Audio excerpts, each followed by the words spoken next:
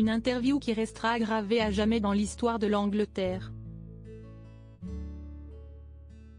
Samedi 16 novembre dernier, le prince Andrew avait décidé de s'exprimer au cours d'un entretien de près d'une heure, accordé à la BBC.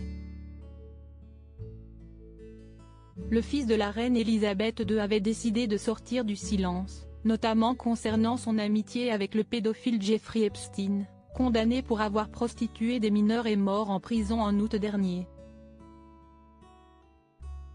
Et ce n'est pas tout, puisque le prince Andrew est lui aussi mis en cause par Virginia Roberts, une victime avec laquelle il aurait eu des relations sexuelles, et qui était âgée de 17 ans au moment des faits, en 2011. Aussitôt l'interview diffusée, que la presse britannique s'était pour le moins lâchée. Plusieurs observateurs de la famille royale ont jugé la défense du duc d'York fragile et maladroite, et ont qualifié l'interview de catastrophique, comme le Guardian, Peter Hunt un ancien chroniqueur royal de la BBC ou encore le quotidien américain Washington Post.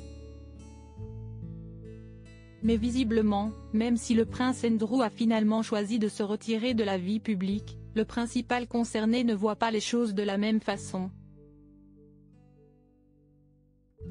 Du bon travail selon le prince Andrew Emily Metley, qui s'est occupé de l'interview, a révélé au Mirror ce que lui a dit le prince Andrew, à la fin de leur entretien télévisé.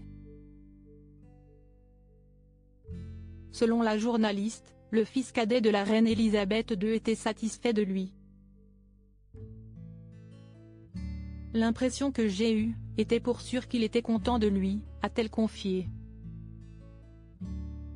À la fin de l'interview, le duc York aurait également informé d'autres journalistes de la chaîne, que selon lui il aurait fait un bon travail, même si avec du recul, il aurait choisi des mots différents ou meilleurs de ceux qu'il a prononcés face aux caméras.